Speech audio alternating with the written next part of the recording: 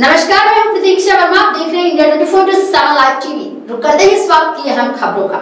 इसी बीच सीधा रुक करते हैं मिर्जापुर का, जहाँ पर जिला नगरीय विकास प्राधिकरण डूडा के तत्वाधान में मुख्यमंत्री योगी आदित्यनाथ द्वारा पीएम स्वनिधि एवं प्रधानमंत्री आवास योजना के लाभार्थियों से मिर्जापुर कलेक्ट्रेट परिसर में वर्चुअल संवाद किया गया।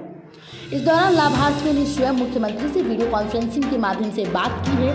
इस अवसर पर परियोजना अधिकारी डूडा प्रतिभा श्रीवास्तव ने प्रेस कॉन्फ्रेंस कर बताया कि आज वन क्लिक के माध्यम से लगभग 4500 लाभार्थियों के खाते में डायरेक्ट पैसा भेजा गया है। इस दौरान डीएम, नगर विधायक आदि लोग उपस्थित रहे। लाइव टीवी के लिए गौरव विश्वकर्मा की रिपोर्ट।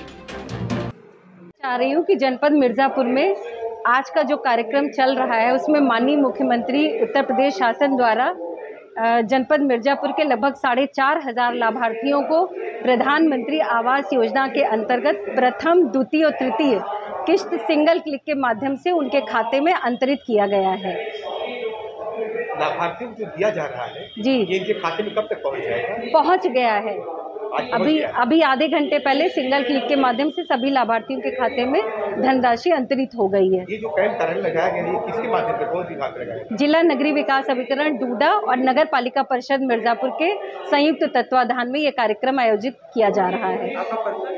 मैं प्रतिभा श्रीवास्तव परियोजना अधिकारी डूडा जनपद मिर्जापुर।